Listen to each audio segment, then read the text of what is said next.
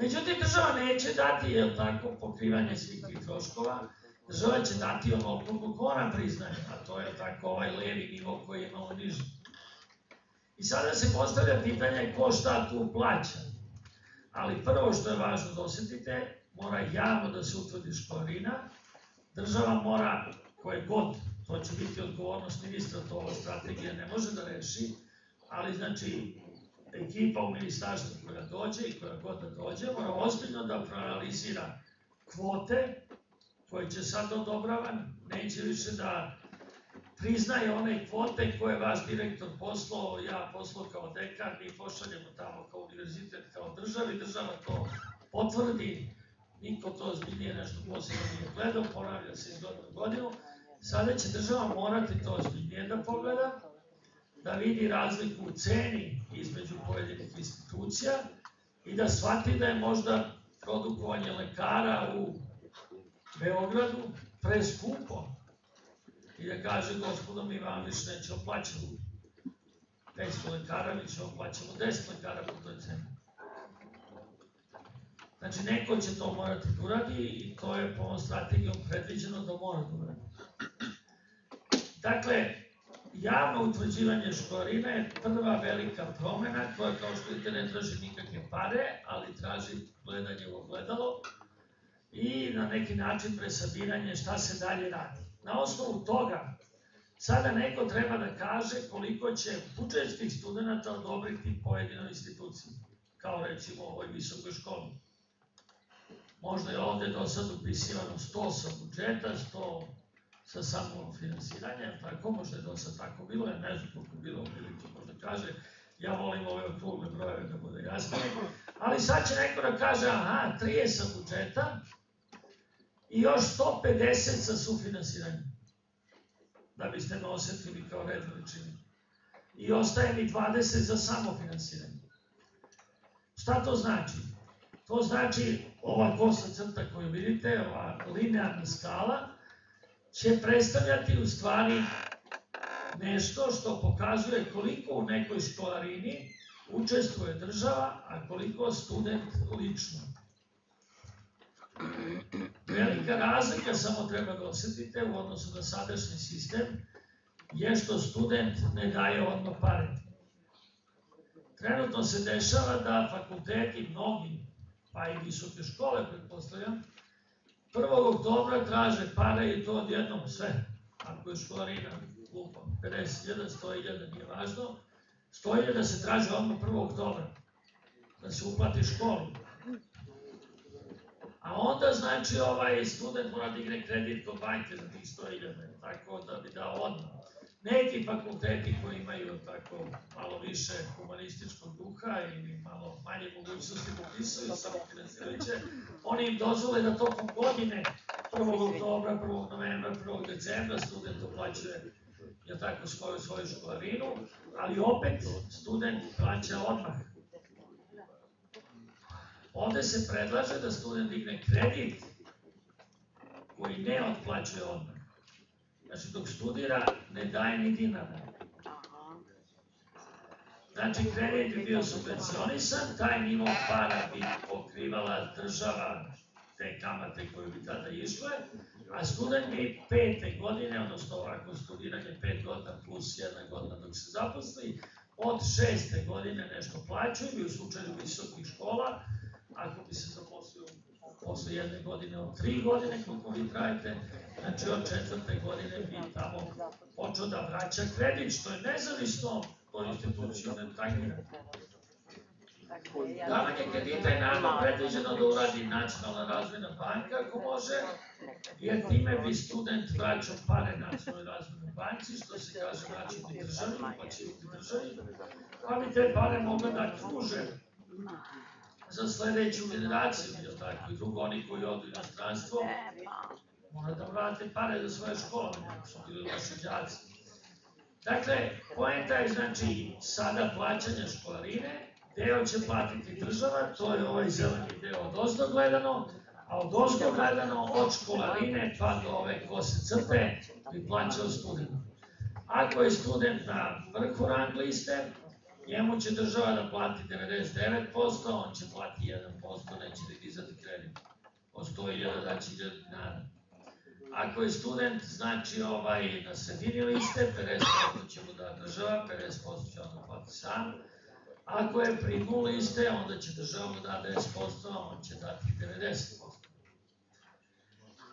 E, predviđeno je da pored, znači, uspeha, u kriterijum, znači, bude uključeno i imovinsko stanje, tako da znači bi i oni koji, pošto su studije pokazale, pa ove koji je profesor Ilić vodio, da zaista slabije, đaci slabijeg imovinskog stanja su i slabiji po uspehu, jer im to imovinsko stanje i prouzrokuje slabost uspehu. Znači ovaj da ipak i taj kriterijum treba uneti sigurno pri upisu prve godine, izvinjavam se, dok za ostale godine bi možda bio samo uspeh. Dakle, drugim rečima, i onaj 150 na rang listi, a do sad ste imali 100 i 100, oni prvi 100 su imali 100% budžet, oni drugi 100 su sami morali da plate, sada će onaj 150 na listi imati učešće države od 10%, 15%, ostalo će morati da Ali onaj na vrhu liste i on će morati da plati, a neće, a neće imati totalno besplatno kao što je bilo do sada. Znači, to je ovako nešto što je očigledno najviše zainteresiralo je tako javnost, pa ja evo sam se tome možda po najviše posvetio, ali znači sigurno je da je to najveća novost, ali novost predstavlja u stvari ova dijagonalna linija, ova linijana skala učešća u školalini, koja sada potpuno poništava onaj stoti na listi, znači ovaj recimo koji je totalno budžetski student, on je prvi iznad crte, je tako? Ovaj prvi sufinansirajući, on je prvi ispod crte, razlika među njima će možda biti 500 dinara dinara. Neće biti 100.000 kao danas. Danas ili dobio 100.000 džabe ili plaća 100.000. Znači postoji stepeniti, kako bi rekao, skokoviti, znači prelaz, koji smo samo ovom dijagonalnom, ili tako, linearnom raspodelom uspeli da ublažimo. Naravno, ovo je jedan predlog. Dalje je otvorena rasprava, izvolite i vi ste dobrodošli da nam date predloge, ali ovo sigurno ne traži nova budžetska sredstva, a država sa kvotama, znači ovom širinom, da tako kažem, levog stuba i širinom ovog centralnog stuba, sa tim kvotama reguliše količinu para koja, koju negde usmeramo. Ovde se, ovde ne treba da doživite da će ovo biti tako za svaku disciplinu. Stupac levi, čisto budžetski student, će biti vrlo uzak, bar ja tako očekujem, možda se zabudim, za ekonomiju, prava, menadžment i tako to. A država ako reši da produkuje lekare, inženjere, vajare, hemičare, tako, teže nauke, očigledno što manje ljudi upisuje, država će levi stubac da napravi jako širok. Ovaj sim finansirajući može napravi uzak. Tako da će time forsirati studente da idu, ako hoće da studiraju džabe, da idu na discipline koje su državi potrebne. A ne da sad se imamo podjednako ove stupce. Znači, to treba da osetite, znači da ova kvota, znači kraj ovog prvog stupca, znači ta kvota 1, kvota budžetskih studenta će biti potpuno različita po disciplinama i ako treba, potpuno različita i po institucijama. Pa možda je to strategija. To je, to je sprovođenje strategije. I ministarstvo koje nailazi. Znači, mi smo preporučili procente, izvinjavam se, imaju procenti u strategiji koje smo mi za prvi trenutak preporučili. Za to dalje smo predvideli da se formira služba, vrlo stručna služba, da ne bi bilo neobjektivnih mišljenja. Recimo, možda ja koji inženjer bi sve dao inženjerstvo, ne lekar bi dao sve lekarstvo, hemičar na hemiju. Znači da stručna služba koja nije samo zapošljavanje, pa na osnovu kriterijume koliko kojih ima na berzi rada, nego i praćenja šta bi ova zemlja mogla da proizvodi i izvozi. Znači, takva služba bi morala biti formirana, praćena i ona bi sugerisala ministarstvu kvote u pojedinim oblastima. Znači ne bi moglo se dozvoliti da sutra ne da dođe ministar sa nekog privatnog univerziteta i vode da veliki privatni univerzitet. Veliku pometnju je izazvalo i to što su se tako pojavili privatni univerziteti. Mi smo bili prinuđeni, ja ponovo kažem, da poštujemo tu ustavnu i zakonsku jednakost, pri čemu smo je dozvolili ipak za prvi korak samo ovim sufinansirajućim studentima. Nismo dozvolili budžetski, čisti budžetski studenti da još uvek mogu da idu na privatne. I još jednu stvar smo uradili, privatne smo, da tako kažemo, ograničili da moraju da budu neprofitni univerziteti da bi dobili novac od porezkih obveznika.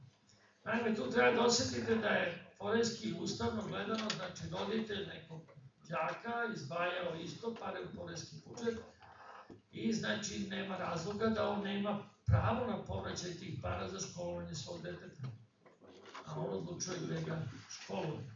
Naravno, to pitanje se proteglo, ja sam već možda nisam završio tu rečenicu malo pre kad sam pomenuo, proteglo se na pitanje srednjih škola, pa osnovnih škola koji će takođe biti privatni, vrtića koji će biti privatni, sve, sve, svi si nivoji obrazovanja odjednom sada dolaze na taj, da kažem, udar. E, mi smo trenutno, još jednom naglašavam, isključivo u visokom obrazovanju to dozvolili i dozvolili smo samo za neprofitne univerzitete, kakvi u Srbiji trenutno nema. Znači, drugim rečima, ti ovi trenutno univerziteti državni, bi morali da se preregistruju, što neki vrlo nevoljno neće da se preregistruju. Tako je pitanje da će dobiti pravo na državne pare, tako da taj, da tako kažem, napad koji ja razumem kao isto profesor na državnom univerzitetu, ja sam ono alergičan privatne, ali taj napad da smo dozvolili nešto i privatnicima sa budžetske kase, e, ipak nije osnovan jer to u principu mora da se dozvoli, samo je pitanje ograničenja kako, kako se vrši. Uglavnom, evo, to su možda dve glavne stvari, ovo ćete sve pročitati, ali tako, ovim podelama studenta, to ja mislim da smo već praktično rekli, kako se određuju kvote i tako dalje. Data je malo čak veća autonomija uh, visokoškolskih ustanova, kao što je možda ovdje vaša, da menadžerišu sa parama i sobstvenim prihodima. Znači, jer računa se da direktori i sredina koje daje vode, da sigurno može bolje i efikasnije da, da s tim parama raspolaže nego što je država to naređivala i tako. I uglavnom nova stvar je, evo tu sam se malo zadržao, doktorske studije koje možda u ovom trenutku nisu kod vas tako na udaru, ali ovaj, za vas ono što je novo je naravno dozvola master strukovnih studija, kao prvi korak, možda će neka strategija kasnije dozvoliti i strukovni doktorat, što je stvar koja je ona i na, na, na nivou Evropske unije se naravno diskutuje, znači ima taj takozvani industrial doctorate, tako. Prema tome to će se još rešavati, kažem, ovo što je za visoko obrazovanje je više doktorske studije, trenutno je stanje takvo da su u stvari svi doktorski studenti samofinansirajući studenti, fakulteti po nekom oproste ili ne oproste školarinu, zavisno da li je budući asistent ili nije budući asistent. Ministarstvo nauke i kroz projekte, da tako kažem, finansira kao delimično platu i delimično opremu za istraživanje, ali suštinski školarinu ne. Tako da novim sistemom finansiranja se predviđa poseban fond preko koga bi se rešio status tih ljudi, tim pre što ti ljudi su završili fakultet pa mogu da se tretiraju kao zaposleni kojima treba da teče radni staž i imaju zdravstveno osiguranje kao takvi, a ne kao, kao ovi studenti obični koje smo navikli. Tako da to su otprilike možda tri udarna elementa ovako iz ovog visokog obrazovanja. Naravno, sa zadovoljstvom ćemo dobijati i vaše pitanja i dajte predloge drugačije pa da i njih razumite. Hvala vam.